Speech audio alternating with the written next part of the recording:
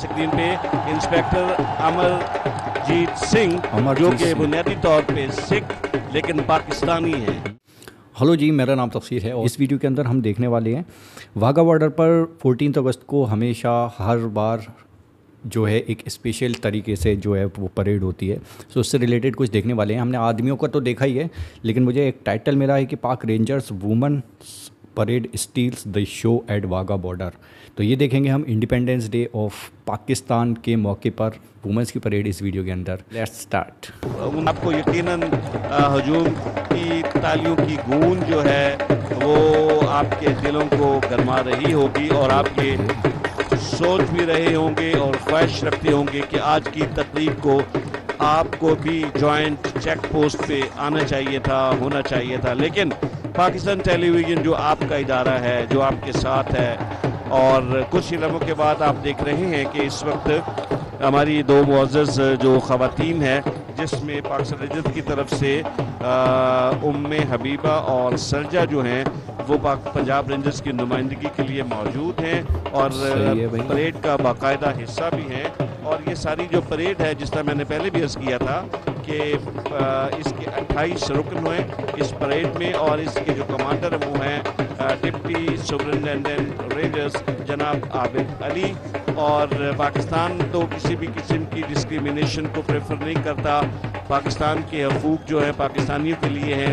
यही वजह है कि आज की इस तकरीब में हम देख रहे हैं कि जो हमारी पंजाब रेंजर्स की दो कमांडर्स दो जो हमारी लेडी रेंजर्स हैं वो भी इस तकरीब का हिस्सा है।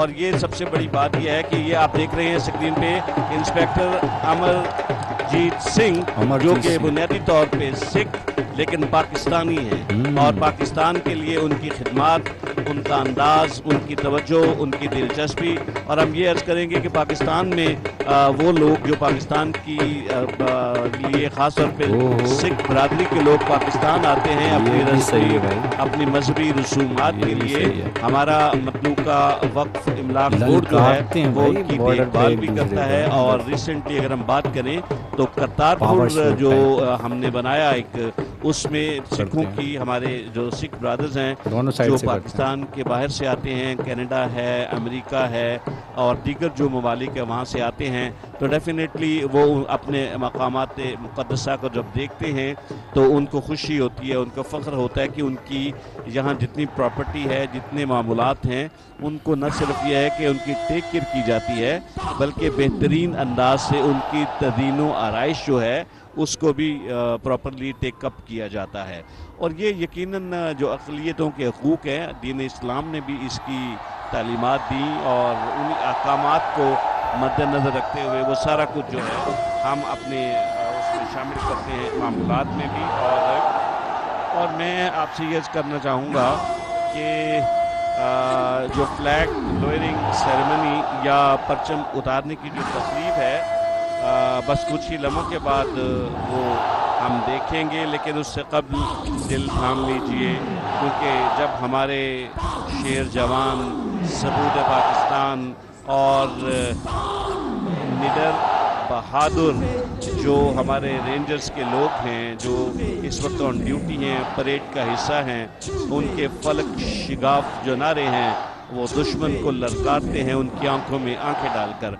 और ये जो नारे हैं, ये जो गूंज है ये भारत भारत या इंडिया के बहुत दूर तक जाती है और उनके दिल यकीनन इनकी रफ्तार से, इनकी आवाज़ से लरज जाते होंगे।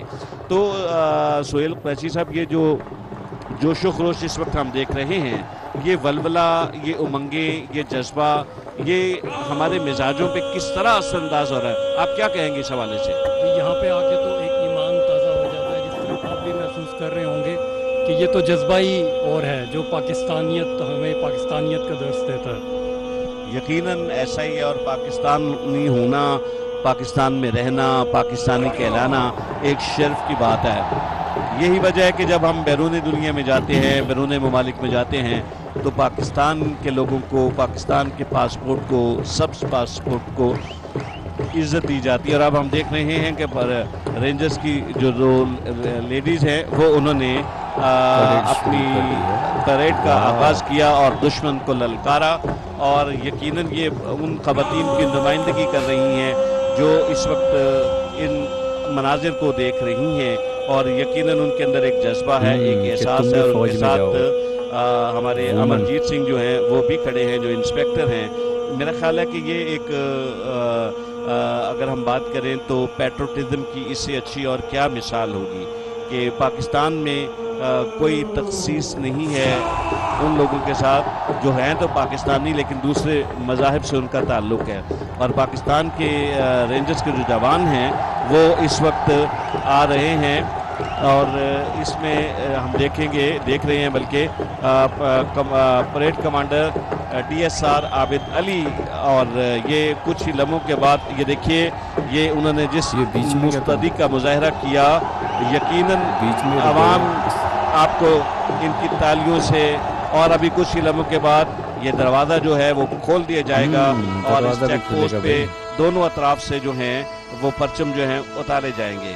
आप ये देखिएगा कि ये कितनी मुस्तदी कितनी बेहतरीन तरीके से ये सारे मामलात जो हैं उनको किया जाएगा देखा जाएगा। क्योंकि गलती की गुंजाइश नहीं है इसमें क्योंकि इसकी बुनियादी वजह ये है कि ये एक ऐसा जज्बा है जिसमें अगर हम कोई इसको यानी इसके लिए शायद अल्फाज वो तासुर ना दे सकें क्योंकि ये दिली कैफियत का एक हाल है, एक अंदाज है और एक ऐसी सूरत हाल है क्योंकि हम लाइव आपकी खिदमत में इस ट्रांसमिशन को पेश कर रहे हैं। तो आप इन तमाम मनाजिर को देख रहे होंगे और आपको बिगल की आवाज़ आ रही है जो यकीनन हमारे दिलों को गरमा रहे हैं।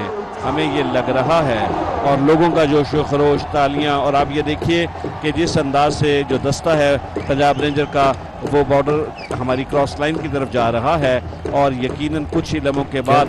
परचम उतारने की बाजाबता परचम बावकार पुरवकार जो तकरीब है हमें वो नज़र आएगी। और ये उन्होंने ललकारा वापस आए और दोबारा फिर उनका रुख जो है उस क्रॉस चेक लाइन की जानब है और और लोग जो हैं आवाम जो हैं वो देखिए कितने जज्बों के साथ और ये देखिए हम्म, शेर की तरह वो ललकारते हैं और उकाब की तरह वो झपकते हैं लपकते हैं।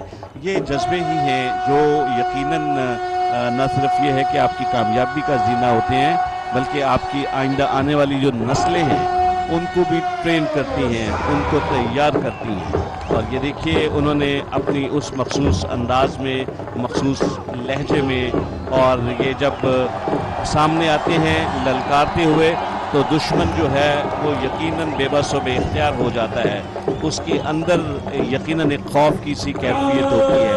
और उस कैफियत को यकीनन तारीख करने में हमारी अफवाज पाकिस्तान का बड़ा दखल है। और इसका क्रेडिट अफवाज पाकिस्तान के साथ साथ रेंजर्स पंजाब को भी जाता है जिसके मुस्तद अ, सेहतमंद और तवाना जो जवान हैं वो इसका हिस्सा हैं। और ये देखिए कि आप स्क्रीन पे देख रहे होंगे कि इस वक्त परचम जो हैं वो भी लहराए जा रहे हैं दिखाए जा रहे हैं। और ये शो मैंने वुमेंस के लिए देखा था कि वो किस तरीके से परेड करती हैं। सेम टू सेम मतलब थोड़ा सा पावर शो करा उनसे ज़ाहिर सी बात है कि उनसे इतना ज़्यादा नहीं करवा सकते जितना मर्दों से करवाते हैं।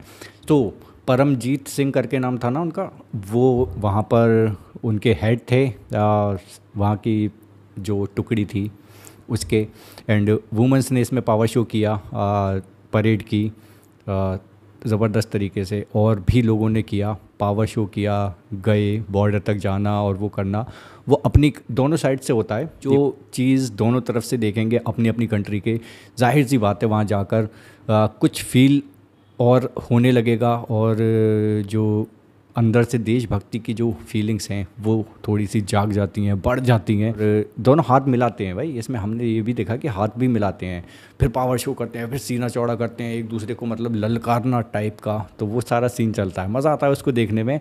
आई होप कि आपने भी इन्जॉय किया होगा। आप भी गए होंगे कभी तो वो अपना एक्सपीरियंस शेयर करना। आपको लाइव देख कर कैसा लगता है वहाँ पर? देखा जा रहा है पाकिस्तान में कि ऐसी वुमेंस को हाईलाइट किया जाता है। अब कुछ पुलिस फोर्स में है, कुछ कहीं पर है पाकिस्तान में।